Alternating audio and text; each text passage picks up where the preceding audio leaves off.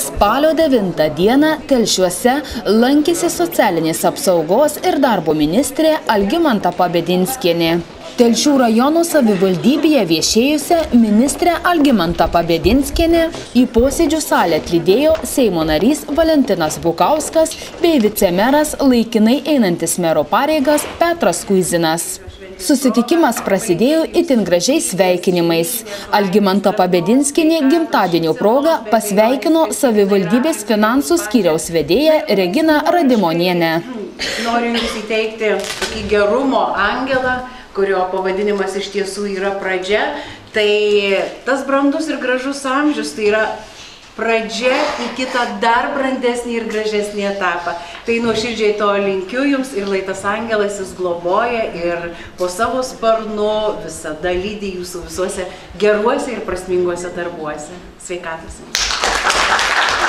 Visus susirinkusiosius pasveikino vicemeras Petras Kuizinas. Socialinės rytis yra e, kiekvienoje tautoje, kiekvienoje, kiekvienoje valstybėje, kiekvienam rajone.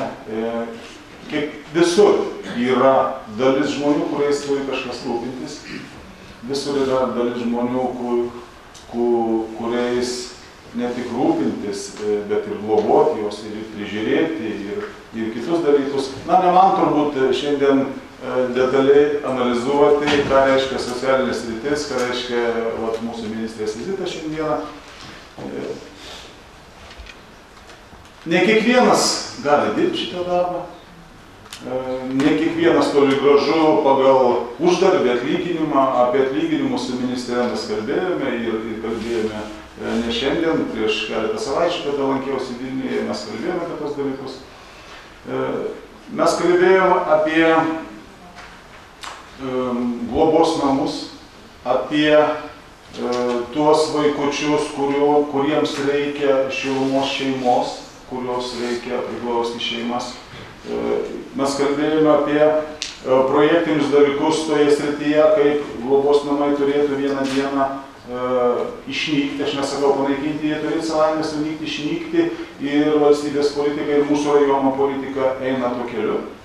Ir praeitame tarybos posėdėje tikrai buvo priimtas labai svarbus sprendimas, kur savivaldybė savo lėšomis į tą projektą eina geranoriškai ir jau numatė tvarką ir numatė tam tikrų finansų kiekį globėjams, kurie globos vienokį ar kitokį kiekį jaunimo, vaikučių ir visą tai. Ministrė Algimanta Pabedinskinė pasidžiaugė, kad telšiuose socialinė politika užima gana svarbę vietą. Aš labai paprastai visą laiką sakau, socialiniai darbuotojai nedarbą dirba, bet jie širdį atiduoda. Tai ne kiekvienas tai gali daryti, ne kiekvienas tai gali dirbti ir jūs tikriausiai lankotės ir globos įstaigose, ir negalę turinčių žmonių įstaigose ir matote, kad labai paprastų kartai žemiškų dalykų reikia. Reikia pabūti tam globotiniui ir mama, ir tėčiui, ir draugų, ir duodėjų, kartu ir paverkti, ir, ir paraudoti, kartu ir pasidžiaugti. Iš tiesų ne kiekvienas gali. Tai aš manau, kad mes tą pirmąjį žingsnelį padarėme ir tuo džiaugiuosi. Toliau dar noriu pasakyti, kad naujajame mūsų e, ministerijos biudžete iš tiesų yra įtraukta ir vaikų dienos centrų e, finansavimas ir finansavimas yra padidėjęs, bet ką norėčiau akcentuoti, kas yra labai svarbu, tai iš tiesų visiškai nauja koncepcija būtent dienos centrų, kad dienos centruose galės lankytis ne tik socialinę riziką patiriantys vaikai iš tų šeimų, bet ir visi bendruomenės vaikučiai. Nes mes įvertinome situaciją, nes mes įvertinome situaciją, kokia yra iš tiesų Lietuvoje ir mes tiesiog patys savo rankomis skaldome bendruomenę. Mes darome užtvaras ir atitvaras vaikams iš socialinės rizikos šeimų ir iš normalių šeimų vaikams.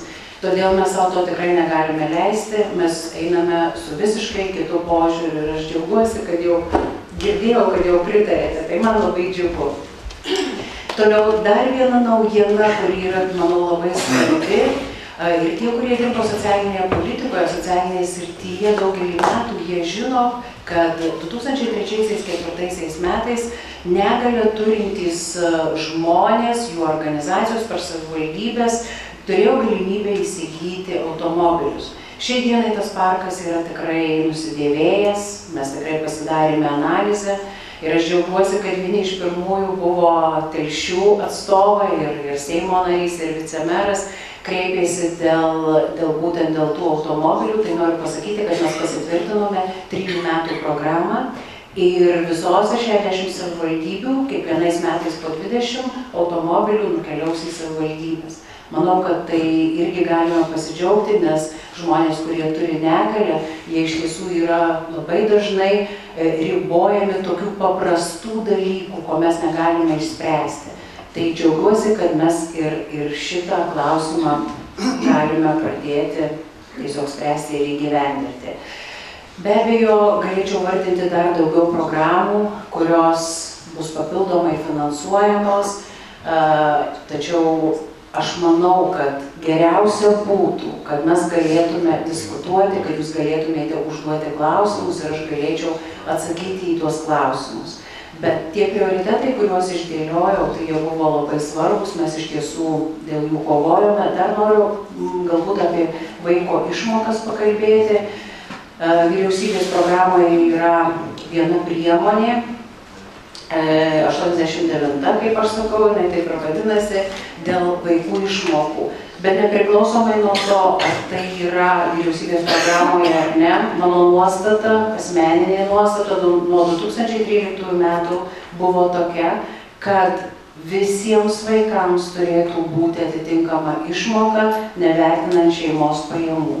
Šiais metais mums nepavyko įgyvendinti šitos idėjos nepavyko įgyvendinti šitos idėjos, 16 metais mes teiksime teisės aktus, tie teisės aktai yra parengti. E, todėl aš manau, kad ir Seimo nario pagalba, ir aplamai politikų pagalba mes galėsime šitą įstatymą ne tik priimti, bet ir įgyvendinti. Todėl, kad noriu pasakyti, Estai ir Latviai eina tikrai tuo keliu. Šiandien dienai dar pas juos dalinai yra e, pajamos vertinamos, dalinai nevertinamos. Bet Estai, pavyzdžiui, nuo 17 metų visiems vaikams, nevertinant pajamų, išmoka nuo 19 eurų kels iki 50 eurų. Todėl įvertinant tai, kaip mes gyvename, kokia mūsų demografinė situacija, kaip sunkiai mes auginame tuos vaikelius, tai mūsų prioritetas yra šeima ir vaikai, sprendžiant visas demografinės problemas.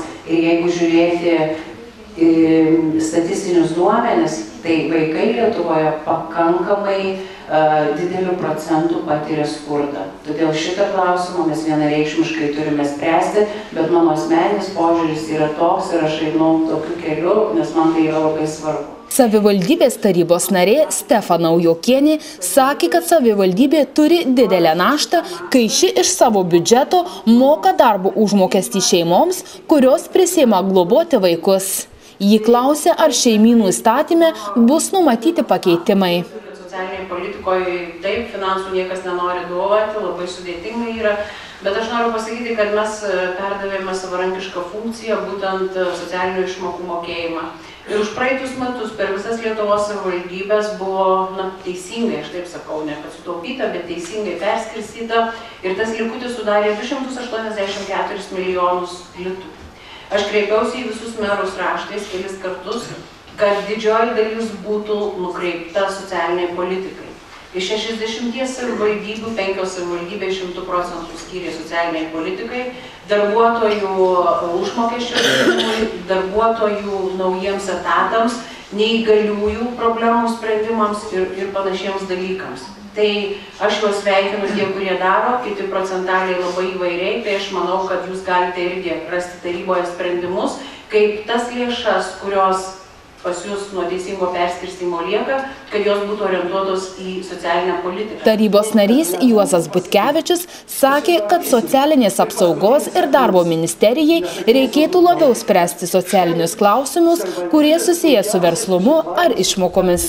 Neapsikraukit ministeriją su tokiom smulkmėm, kaip pavyzdžiui, būsto pritaikymas, kaip pavyzdys iki detalių, iki lokalios amatos, keliauja į jūsų ministeriją, visi dokumentukai grįžta atgal, pirmin, žmonės užsijėmė po prakarį. Atsakingai tvarkas, palikit mums, sustvarkysim. Turim puikiausias ministras savo finansų, turim valdžią, ir visada turėsim gerą telšios valdžią. Sustvarkysim, atmeskite tuos darbus, neužsimkite. Nes tai yra, tai yra klapas. Tai štai ir dinksta valdžios sektoriaus veiksmingumas. Susitvarkys.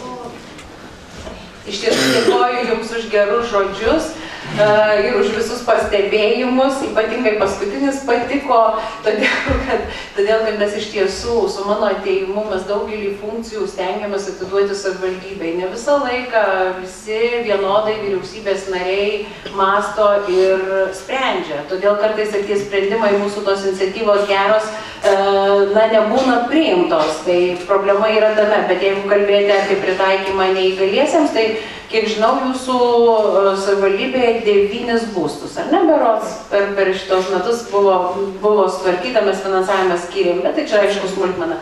Bet jūs labai teisingai pastebėjote. E, noriu pasakyti, kad kaip pavyzdį socialinio modelio kontekste, mes iš tiesų kvietėme įsijungti visas ministerijas, tą patį ūkį, tą patį švietimą, tą pačią kultūrą ir, ir, ir visas ministerijas, todėl kad apriektis pačio socialinio modelio ta dėlionė yra iš visų ministerijų ir iš visų sirčių.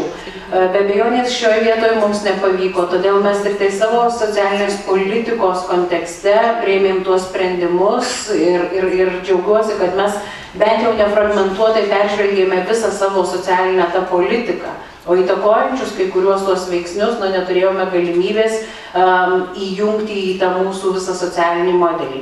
Bet aš noriu atkreipti jūsų dėmesį į vieną paprastą dalyką, ką jūs labai pasakėte teisingai ir aš lygiai taip pat manau, kad pas mus nėra tarp žinybinės, tarp institucinės bendravimo kultūros. Ir nors esame jau nepriklausomybėje, pasikartosiu, daugiau kaip 25 metus, mes neturime to susibendravimo ir mes visi kažkaip tai tą paglodę tempiame į savo pusę. Na ir pavyzdžiui, ką aš tik minėjau apie slaugą ir globą, ar ne? Amžina problema 25 metai. Ar sveikata, ar socialinis, ar sveikata, ar socialinis. Bet sveikatos priežiūros sistemoje, jeigu būtų kitoks požiūris, turbūt ir tose globos namuose žmonės su kitokiam negaliom arba su mažesnėm negaliom būtų. Tai tą, ką jūs sakėte apie tas pasiekmes, ne mes jas su, suformuojame. Pasiekmes vis dėlto mums suformuoja ta pati ūkio ministerija, ta pati švietimo ministerija. Ir kai šiandien dienai mes turime apie 150 tūkstančių darbo biržoje, mes visą laiką baksnuojame švietimo ir mokslo ministerijai, kad jūs turite specialistus renkti pagal poreikį, bent jau trumpuoju laikotarpiu, ko reikia verslui. Bet aišku, prognozuoti šiai dienai, kada dinamiškas tas visas gyvenimas ir verslas labai keičiasi, yra pakankamai labai sudėtinga. Ir plius universitetai yra pakankamai savarankiški, jie rengia savo programas. Tai dar yra labai sudėtinga. Ir jauni žmonės e, orientuojasi į tas patrauklės labai ir labai gražiai skambančias specialybės. Dar turime didžiulę problemą. Tai viskas yra susiję, bet aš manau, kad ir su mano ateimu, ir su mano požiūriu daug kas keičiasi ir tikrai mes kartais įtakojame ir susikūrėme ministrai ir, ir, ir tos pačios vienos partijos ir tikrai parodome stuburą, kad mes einame šituo keliu, mes norime tai padaryti, nes tai yra žmogaus geroviai, žmogaus labai ir tam tikrų sprendimų yra, bet ne taip viskas greitai pasirodys. Ir tas pats socialinis modelis. Nesvarbu, kad e, garbaus e, parlamentarai, jeigu jį šiemet priims, visiškai nepasakysim, kad kitais metais ar dar kitais metais jau jūs pajusite tą pridėtinę vertę. Nes na, įstatymo įgyvendinimas, jūs puikiai suprantate, kad rezultatus parodo ilgesniuoju laikotarpiu. Ta parodė ir būtent, sakykime, tų socialinių pašalpų perdavimas kaip savarankiška funkcija savivaldybėms. Dabar apie verslą jūs kalbėjote, apie smulkų ir vidutinį verslą.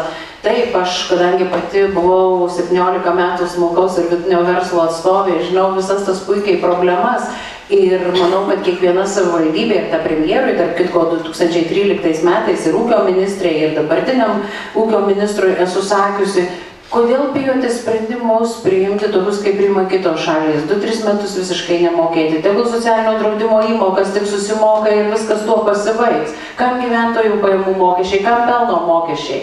Toliau, kodėl negalime aplamai, sakykime, kad ir gyventojų pajamų mokesčio pagal teritorijas diferencijuoti smulkiam verslui, trumpuoju laikotarpiu, kol jie įsisiubuoja. Bet pasakysiu labai paprastą dalyką. Ne kiekvienas politikas ir ne kiekvienas ministras turi stuburą. Patikėkit, socialinis modelis man taip pat slankstelių daug išlaužė. Tai čia reikia labai drąsos didelės, kad, sakykime, ūkio ministerijoje priimti tokius sprendimus, ar dalinai net kooperuoti su vietos savivalda priimant sprendimus. Žinokit, didelės drąsos reikia. Bet, na, aš manau, kad mūsų pavyzdžių pasės ir kiti ministrai ir vis tiek bet kokiu atveju turėsim vienokį ar kitokį sprendimą. Toliau noriu pasakyti dar apie smulkų ir vidutinį verslą, kad kiekviena savivaldybė turi smulkaus ir vidutinio verslo fondą. Ir pradžiai, ir jūs tikriausiai žinot, ir pas jūs yra toksai dalykas, tai verslo pradžiai, ypatingai tie, kurie įsteigia tą mikro įmonę, vieno trijų asmenų, tai yra didžiulė pagalba. Bet vėlgi priklausomai nuo to, kokius jūs nuostatus pasitvirtinote ir kokias uh, veiklas jūs remiate. Aš galiu pasakyti iš Marijampolės pavyzdžio, kadangi pati buvau iniciatorė tų veiklų papildymo, mes netgi siūlėme, kad tiems smulkėsiems verslininkams uh, būtų dengiamos, pavyzdžiui, dalinai reklamos išlaidos, dalinai ten kažkokių tai priemonių įsigijimo, ne vien tik tai palūkanos. Tai todėl vietos savivaldos lygmenyje taip pat galima tam tikrus sprendimus padaryti.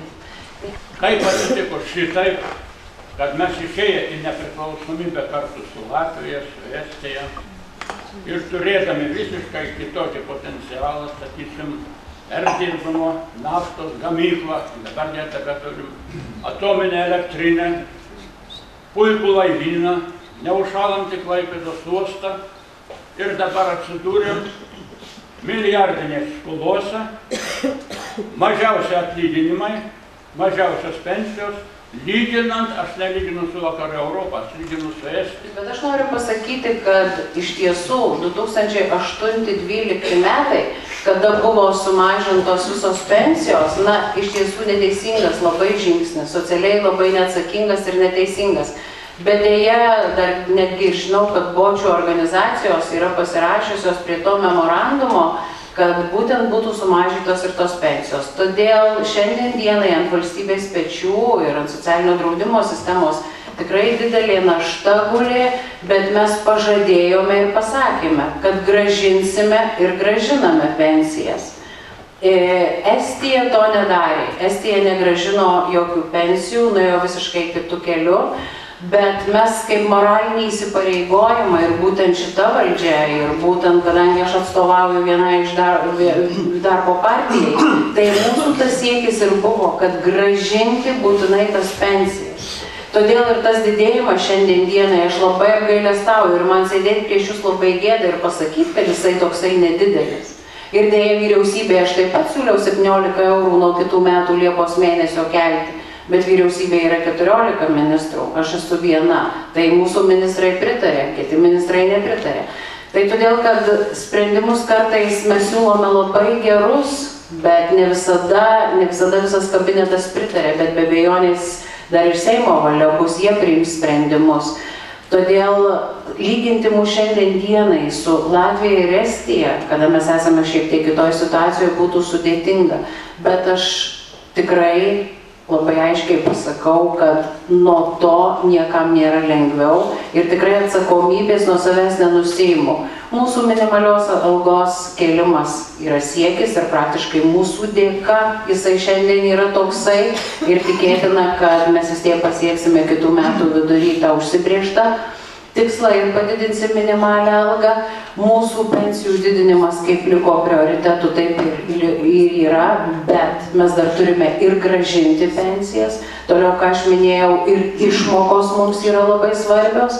Tačiau, kad sugeneruoti į valstybės biudžetą visas tas lėšas ir e, būtų tas perskirstimas labai teisingas, mes kiekvienas pilietis turėtume labai atsakingai pasižiūrėti į tuos, kurie dirba šešėlyje.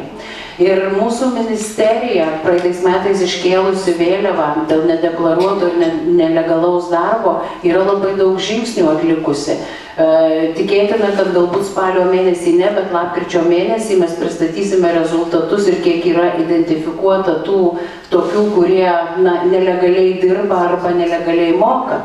Tai aš manau, kad kiekvieno iš mūsų pareiga yra ir informuoti kur šešėlėje nugula tos lėšos, tada mes turbūt galėtume kalbėti, kad mūsų minimali alga galėtų būti ar 5 ar 600, garbėms seniorams pensijos ne ką mažesnės kaip minimali alga, vaikų išmokos taip pat būtų vienas iš prioritetų. Deja, su visa atsakomybė negaliu, negaliu prisimti visų blogų padarytų darbų, nors šiandien dienai esu šioje pozicijoje. Aš norėčiau paklausti ministrės, kodėl į darbą stažą ir neįskaitomas technikoms. Nu galbūt ten, kaip sakant, visus keturis metus gal ir ne, bet mes tris met, vienus metus tikrai sunkiai dirbom žemės ūkio technikomi, buvo technikumų gyvuliai, buvo, kaip sakant, su dergeliais, reikia išinauti, reikia vis darbus dirbti. Nors vieni metai turės būti skaityti darbų stažą. Ir antrą noriu pasakyti, kad pensijas padidėjo bene 4 ar 5 eurais, kiek žinau, tuo tarpu merų alga padidėjo 1000 eurų. Ar ne per didelis skirtumas, kažin? Bet jūs savo iniciatyvą ir paklausimą tikrai galėtume teikti Seimo nariui, e, nes aukštosiuose mokyklose, kai buvo mokomas, yra įskaičiuojama į darbo stažą tuo senuoju laikotarpiu, tikrai dėl technikumų nežinau, bet Seimo, į Seimo narį galima kreiptis ir su, su ta iniciatyva galbūt ir kažkaip tai spręsti tą problemą. Dėl atlyginimo didinimo tikrai negalėčiau pasakyti, bet tai buvo sprendimas priimtas berots vėlgi gal pagal konstituciją, pagal įstatymą. Ir todėl tos proporcijos tokios. Bet aš dar noriu pasakyti, e, papildyti gerbamą Seimo narį, tai būtent socialinio modelio kontekste ir yra numatytas pensijų indeksavimas, kuris tikrai neleistų žaisti su žmonių likimais ir nebūtų jokių mažinimų ir e, visiškai nereikėtų mums šiandien raudonuoti ir už tas buvusias valdžias, už jų priimtus sprendimus. Indeksavimas tai reiškia, tai kiekvienais metais uh, yra pensijos didinamos pagal darbo užmokesčio fondo augimą. Todėl ir mano siūlymas buvo kitaisiais metais, kad, taip, kad politikai negalėtų, nes dabar nuo politinės valios priklauso, kiek noriu, tiek kartų keliu tas pensijas, kiek noriu, tiek kartų mažinu. Lygiai tas pats su minimalia alga. Todėl būtent socialinio modelio kontekste ir yra, kad dėl minimalios algos priima vieną kartą metuose sprendimą ekspertai, ekonomistai, ar galima kelti, ar negalima tą minimalią algą ir kiek ją galima. Ir lygiai taip pat veikia automatinis pensijų indeksavimas ką visos valstybės praktiškai turi, Lietuva niekada neapsisprendė ir neturėjo to stuburo pasakyti, kad būtų nuosekli e, pensijų sistema. Tai būtent kitų metų e, paskaičiavimais ir buvo, kad 6,3 procento pagal darbo užmokesčio fondo augimą galima kelti pensijas. Todėl mano tas siūlymas ir buvo 17 eurų, tai yra 6,3 procentų. 17 eurų kelti pagal realiai situaciją, kokia yra Lietuvoje. Tai tiek trumpai nu stažas kažkodėl mažai kelia. Man stažas 38 metai, vo, vo, vo. Ne. Tai aš dar kartą noriu pasakyti, kad būtent socialinio modelio kontekste yra ir pensijų naujas skaičiavimas, ir pačios socialinio draudimo sistemos visiškai skaičiavimas, ir nedarbo draudimo išmokos, ir netekto darbingumo. Absoliučiai visai kita metodika. Ir, ir tas, tą, ką jūs minite, kad įskaičiuota ir kad ten 38 metus, Tai dabar nėra aišku, nes skirtingais laikotarpiais buvo skaičiuota, o dabar, ką mes siūlom savo naujais įstatymais, viskas aišku ir skaidru. Jūs ar prie kompiuterio prieėję, susivedę savo duomenis, ar nuėjęs į skyrių teritorinį, jūs iš karto kiekvieną dieną gaunate informaciją, kiek jūs tos pensijos uždirbote, kaip jinai uždirbta, iš kokių šaltinių jūs priimate sprendimą. Aš esu socialinių paslaugų centro direktorė Rasa Pienė. Taipogi, kaip iš socialinių paslaugų teikimo sferos noriu labai padėkoti už šitą rekomendaciją, kuri išėjo dirbantiems su rizikos šeimomis, nustatymas šeimų ir dirbantiems su pagalba priežiūra, taipogi metodika ir nustatymas šitų, jie gali dirbti su keliom šeimom darbuotojai. Bet ar negalėtų šitas rekomendacija pavirsti teisės aktu? Tai tokiu atveju iš tikrųjų būtų paslaugos teikiamos kaip ir licencijavimas, kada, ar ne, kad buvo privalomas ir, sakykime, tada e, turėjome etatų bent turėti tiek, kiek privaloma, nors ir minimaliai. Aš manau, kad paslaugos irgi bus teikiamos, sakykime, vėlgi pagal įstatymą įvilktą rūbą ir šitos paslaugos būtų e, pritrauktos prie, sakykime, kiek įmanoma kokybiškų paslaugų.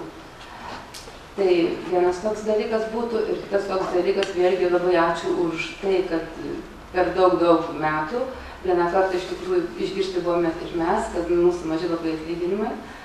Tai čia didelis dalykas, mums didelė paskirtis, ypatingai kai didėja minimumas, tai mūsų atlyginimai praktiškai tampa minimalus, nors reikalavimai didžiuliai yra, išsilavinimas aukštasis yra, Ir vis tik toks būtų prašymas, ar tiesiog vis tik tai aukštieji mokslai yra lygus, ar ne. Mokinomės lygiai tos pačios universitetuose, tiek švietimas, sakykime, tiek, sociali, tiek socialiniai darbuotojai, o atlyginimai ženkliai, ženkliai skiriasi. Tai vis tik tokia mes jaučiame tokia kaip ir neteisybė. Jo labiau, kad socialinis pedagogas gauna du kart daugiau negu socialinis darbuotojas ir netgi daugiau negu įstaigos vadovas socialinių paslaugų. Tai va, toks galbūt pastebėjimas, galbūt galima kažką tenai padaryti. Ir dar apie socialinį modelį, bent pirminiam variantui, kiek skaičiu dabar tikrai neskaitau, tai nenoriu, neskaičiu dabar, bet pirmin neskaičiau, tai liktai nebebuvo įtraukti socialinių darbuotojų į riziką, kur priklauso atostogos 35 dienos. Ar dabar pakeitimas jau yra, ar tai buvo palikta, nes kažkaip tai buvom praleisti. Jeigu uh, profesinės sąjungos bus išsakę tą nuomonę, tai bet kokiu atveju turėtų turėtų būti įtraukta.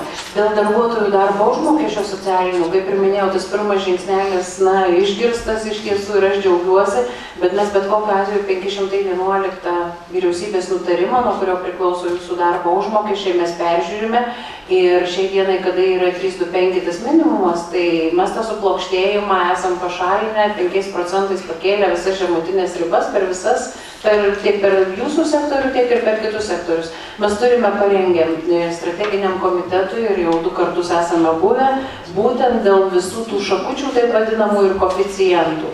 Aš manau, kad e, tikrai, tikrai nebus nuskriausta, bet mes manome aplamai, kad ko gero reikėtų atsisakyti aplamai 511 nutarimo ir eiti per tą, ką Seimo narys dažnai minė, tai būtent e, bazinį tą dydį, kuris buvo 1-2, ar ne, jį atstatyti, o ko gero netgi jį prie valstybės tarnautojų prilyginti. Mes labai daug variantų turim, labai svarstom, bet e, mes kartais per galvą labai daug gaunam nuo finansų ministro bet mes vis tiek socialiai atsakingi ir einame į priekį.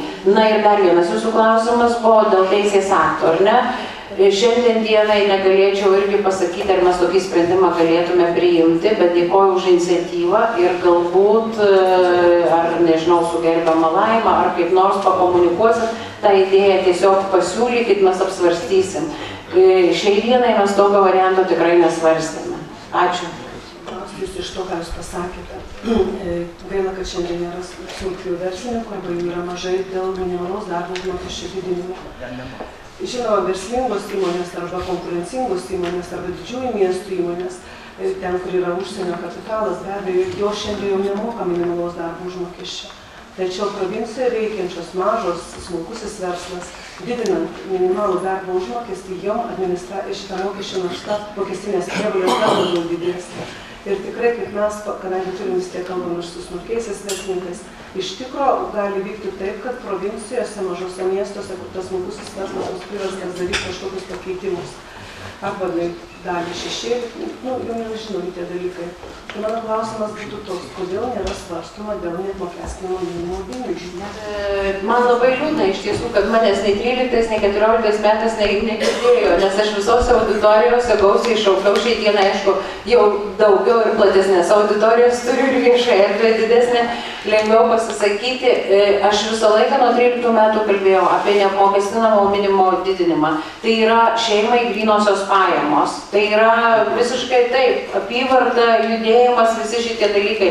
Mes apie šitą vienareikšmiškai pasisakom, bet kiek girdėjau, jau dabar ir finansų ministras lyg tai kalba, ir, ir premjeras, na, pri, prikapsėjom mes į tą akmenį tų skilučių ir, ir turė, turėsim, ko gero, galbūt kažkokį tai rezultatą. Dėl tos minimalios algos, na, bet kokiu atveju aš taip vertinu, kas yra mažesnėse tose teritorijose, yra tie smulkieji verslai. Tai būtent aš ir minėjau, kad galbūt galima įvairiausius tos sprendimus priimti. Priklausomai nuo to lankstumo, kaip ir sakiau, kad galbūt ir minimali, minimali alga galėtų būti, na, kažkoks tai procentas nuo vidutinio darbo užmokesčio toje teritorijoje verslo įmonių. Yra įvairiausių sprendimų, kaip tai galima padaryti, bet, na, iš ties tai nėra visiškai mūsų tas daržas, ne vien tik tai mūsų socialinės apsaugos ir darbo ministerijos. Čia ir ūkis turėtų labai intensyviai įsijungti ir, ir visos tos verslo asocijuotos struktūros, jos turėtų labai tokį aišku ir aštrų dialogą turėti su tam tikrų rezultatu. Bažnyčia reiš per metus sušluoja į savo biudžetą 17 milijonų litų. Čia litais kalbėsim. Kaip panaudojamos šitos lėšos ir kaip deklaruojamos. Kod- Kodėl, kodėl mes turime remti Vatikaną, o ne Vatikanas mumis.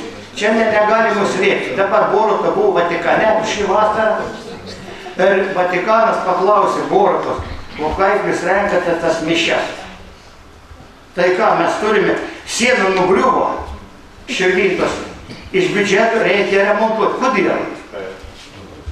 Nugriuvo, sudegė bažnyčia aukštaitijoje, Matulaitis paprašė šito kubiliaus 1 milijoną 800 tūkstančių. Iš kur įmami tie pinigai? Dėkoju gerbiamam paklausėjui už klausimą, bet iš tiesų na, mes nesprendžiame e, klausimų, kurie susiję su bažnyčia. Mes, e, mūsų ministerijos kompetencijų ribose yra socialinė politika. Nieko bendro su Vatikanu ir su Iždu tikrai neturime. Tai aš manau, kai pas jūs lankysis finansų ministras, jūs galėsite jam užduoti visus šitos finansinius klausimus. Ačiū Jums labai. E, Mes nekartą kreipėmės ir į Seimo pirmininkę, ir į prezidentę, ir į jūsų ministeriją, kada ir ar numatoma, konkrečiai norėčiau gauti atsakymą, netekto darbingumo periodinės kompensacijos. Čia yra už profesinės lygas. Nes žmonėm yra nuimta ne kaip pensijos ten po 10 procentų, bet visas 20 procentų. Konkrečiai žmogus gaudavo 825, aš litai sakau, 825 litus sumažino iki 649. Jis per mėnesį, netek, net jam buvo nuimta į mėnesį po 176 litus. Ir per tas du metus jis neteko 4235 litų. Atidirbęs žmogus 40 metų ir netekęs e, e, darbingumo, jam dabar reikia ir gydytis, ir vaistai, ir turi ir sanatorijas važiuoti, jam šitos kompensacijos už tuos e, prarastų tų pinigų jam niekas negražina. Ir ar numatoma juos konkrečiai gražinti? Mes turime gražinti visas tas išmokas, kurios yra, dėl kurių pasisakė Konstitucinis teismas. Dėl netekto darbingumo Konstitucinis teismas nėra pasisakęs. Jis yra pasisakęs dėl senatvės pensijų, dėl, invalidų, dėl dirbančiųjų pensijų ir valstybės tarnautojų. Tai mes pirmiausia tol, kol negražinsime kompensacijų pagal teisės aktą, kuris mūsų įpareigoja, tai yra Konstitucinio teismo išvados, tai mes negalėsime kitų sprendimų priimti. Aš puikiai suprantu, kaip žmogus, aš puikiai suprantu, bet šiai dienai aš tokio sprendimo negaliu padaryti. Aš suprantu. Dabar sakykit, o kas turi kreiptis į konstitucinį teismą? Piliečiai gali taip pat kreiptis. Paprastas žmogus jisai nepasikreips. Čia turėtų arba Seimo nariai kreiptis. Man, man pavyzdžiui, sodrui pasakė, sprendžia Seimas. Taip. Ir jūs kreipkitės į Seimo pirmininkę. Aš kreipiausi. Aš atsakymo negavau. Aš labai atsiprašau, Seimo pirmininkė negalėčiau atsakyti, bet mes turime ir jūs turite, tiksliau sakant, gerbiamą Seimo narį, tai tiesiog gal Gal ministrė, jeigu trumpai iš tiesų tą klausimą aš pirmą kartą tokį girdžiu, tai aš tikrai kreipsiuosi į socialinį darbo apsaugos e, ministeriją, kiek Lietuvoje būtent e, pažeidė šitas e, suvaržymas turint nedarbingumo, kur buvo nepripažinta konstitucinių teismo at- atstatymui ir gražinimui. Ar kiek mūsų piliečių aplamai pasižiūrėti apimtyje, tada būtų galima žiūrėti Seimo nutarimu, e, kreiptis į vyriausybę, kad jie numatytų būtent e, tiem piliečiam tą teisingumo atstatymą. Šiandien, manau, ir ministrė negali atsakyti, kiek tai yra mūsų visuomenė paliesta. To jūsų minėto klausimu, bet yra patarėjai, užsirašyti jūs, taip? E, socialinis šitas darbo ir socialinių santykių institutas sako, kad ir e, Market Leader portale rašom, kad e, pasaulyje pažangiausios valstybės turi vieną instituciją, kuri rūpinasi, reiškia, smulkiojų ir mikro verslų, šitų mažiausių verslų. Viena institucija. Lietuvoje, jie sako, yra 11 ir kitos. Nežinau, kiek tų kitų. Žinot, per tuos tris metus tikrai pastebėjau, kad Lietuvoje visose srityse, ne vien tik socialinės politikos, instrumentų ir infrastruktūrų yra labai daug prikurta. Kada mums reikia grįžtamojo ryšio ir kada reikia rezultato, nėra iš ko paprašyti. Tai aš su jumis tikrai sutinku ir tas, kas mano galioje, galbūt ir kartu su Seimo uh, nariu iš tiesų, uh, tas jūsų iniciatyvas ir jūsų tuos pasiūlymus, gal mes galėtume įgalinti. Aš taip 90 metais, 94 gimdžiau vaikus, buvau studentė. Pagal tuometinius įstatymus, kaip ir nepriklauso motinystės stažas, atostogų tuose. Ar būtų galima kažkur kreiptis, kreipiausi telšius, telšių, sodro lyg ir man negali klausimą daryti, kad tuos e, du laikotarpius, kai auginau vaikus, įskaityti į stažą. Mes esame pateikę naują įstatymo projektą su pataisa, kur būtent moksleiviai ir studentais, tai studentai iki 24 metų, kurie neturėjo draudžiamųjų pajamų, būtų draudžiami socialinio draudimo įmokomis. Tai, tai dabar, o už praeitą, lai- už praeitą laikotarpį tikrai to padaryti negalėsim, nes kad ir teisės aktą priimsim, jisai atgalinė data negalioja. Jau viską atema iš telšių biržą atsikovėm, ar kada nors sodra pareis, ar kam Andresas Mažeikiu tai yra sodras virškina gėlį, atsigrobi kaip iš tikrųjų yra. Kad buvo Jankauskas, reiškia, ministras vietoj jūsų, kad kai kuriais laikais, nes jis buvo plungiškis, aišku, savaime. Jisai tam pakreipė tą lasdelę, o kada jūs pakreipė tą lasdelę, kad telšiai atsijungtų. Čia turėtų būti. Ministrė nėra direktorės sodros. Priimkit domen, kad reikėtų grįžus pradėti restruktūrizaciją. Ja, vežėkite. Tai, mėly kolegos, dvi akademinės valandos prabėgo taip greitai. Ir aš manau, kad tikrai mes turėtume apie ką kalbėti ir dar daugiau. Deja, deja visų laikas yra ribotas, darbotvarkės padaryta. Mes turim dar ir kitokių dalykėlių. Tai ačiū labai, kad jūs atėjote, ačiū už klausimus ir mintis idėjas. E, Ačiū, kad ministrė pakankinot. O aš noriu jūsų vardu padėkoti, kad jinai atvažiavo pas mus. Nėra taip paprasta ją irgi išbėgti. Aš noriu jai padovanoti.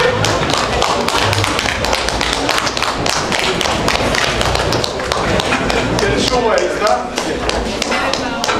Ryškų, ryškų ir skanų telšių vaizdą.